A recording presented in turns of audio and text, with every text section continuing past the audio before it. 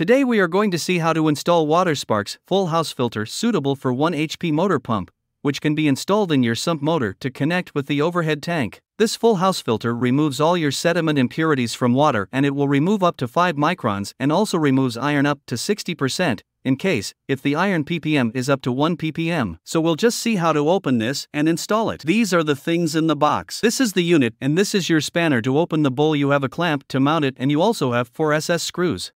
Just put this panel inside and just open this, and you will find the filter inside. Make sure you remove this filter. Make sure that you have to remove the sheet layer which is on top of this and then put the filter inside the housing.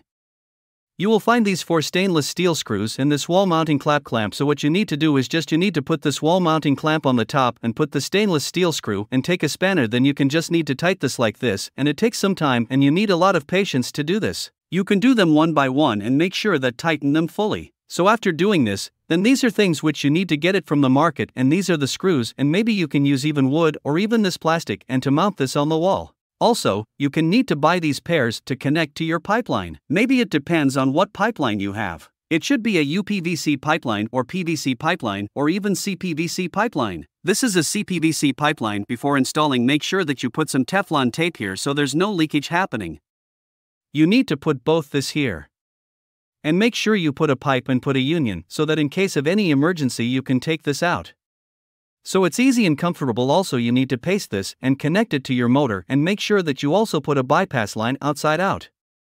So that in case of any emergency, you can open that and use your water directly which was already existing in your pipe. You will see how to install a full house filter suitable for 1 HP motor pump and this is the unit and you have to clamp this unit in the wall. These screws are not provided you have to buy it from the hardware store and then you have to mount it like this on the wall and connect it to the motor like this. And we have just made a small setup now for the understanding. On the left side, which is at the bottom tank, it is slightly murkish and turbid. And that is the raw water. Now, what we are doing is we are just pushing the water to the motor here, and from there, the water goes to the filtration system.